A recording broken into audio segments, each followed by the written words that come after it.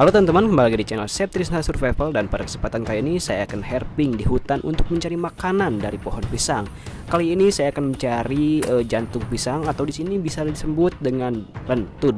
Oke, penasaran bagaimana videonya? Silahkan subscribe dulu sebelum lanjut ke videonya. Let's check it out. Nah, di sini saya sudah menemukan uh, makanannya yaitu jantung pisang atau lentud kalau di sini sebutnya. Ini adalah jenis jantung pisang dari pohon pisang kole. Mari kita tebang. Dan rupanya di sini ada dua, sebelah sini satu, dan di sebelah sini satu. Nah teman-teman, jantung pisang atau biasa disebut dengan lentu di daerah saya bisa kita manfaatkan sebagai sumber makanan pada saat kita survival di hutan. Dan pisang ini dapat kita temukan dengan mudah di dataran tinggi pegunungan seperti di daerah Cianjur ini.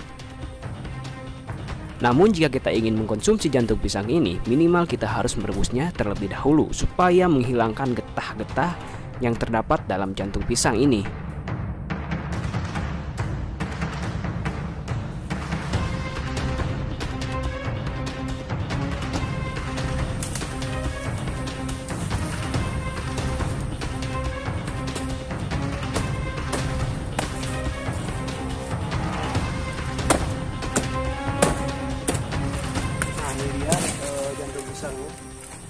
Ini. Baru mau keluar. Kita coba di sini. Takutnya nanti ininya kepotong. Wah ini juga. Ini agak kepotong juga nih. Coba tarik.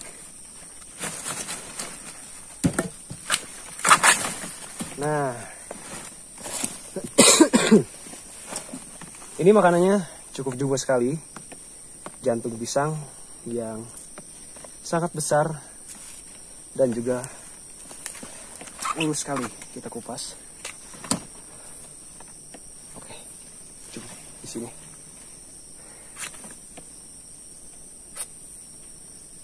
Kita simpan buat nanti kita uh, olah lagi. Lalu kita akan menebang yang satu lagi. Oke, mari sini.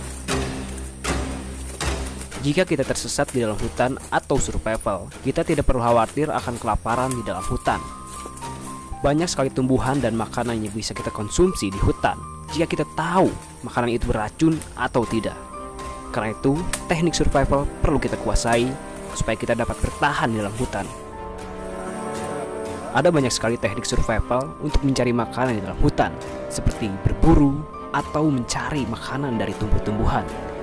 Namun, jika kita berburu, kita memerlukan waktu yang cukup lama. Dalam keadaan darurat, lebih baik kita mencari makanan dari tumbuh-tumbuhan daripada hewani. Karena jika kita mencari makanan dengan tumbuh-tumbuhan, akan makan waktu yang lebih cepat.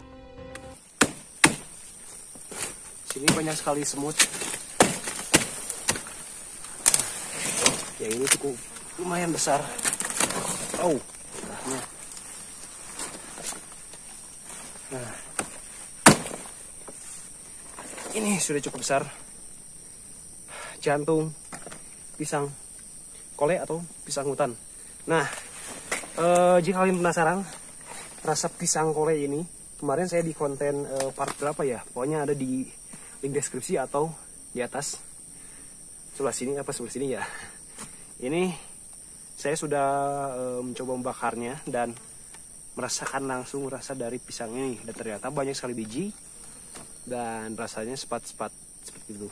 Oke jika penasaran tonton di atas. Kita bawa dan kita akan olah lagi. Ayo.